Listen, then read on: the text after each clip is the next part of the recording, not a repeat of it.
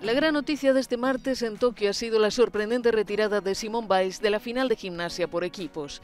Abandonó a sus compañeras de la selección estadounidense tras participar en un solo aparato, argumentando que tenía que centrarse en su salud mental. El resultado fue que las rusas se colgaron el oro, desbancando a las estadounidenses que ocupaban el trono de la gimnasia desde 2010.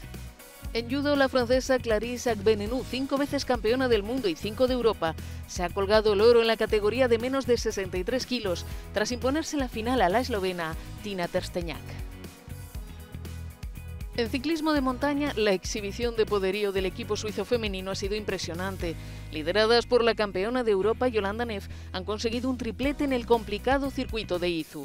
La última vez que un país se hizo con el oro, la plata y el bronce en una prueba olímpica de ciclismo fue en 1904. En piragüismo, la veterana palista guipuzcoana Mayalen Chourraut ha conseguido la tercera medalla para España, una medalla de plata en la categoría de K1. Solo fue superada por una de las favoritas, la alemana Ricarda Funk.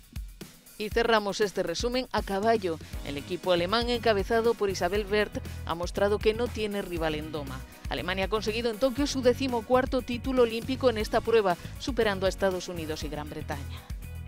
Tras la jornada de este martes, el país anfitrión Japón encabeza el tablero de medallas de oro con 10.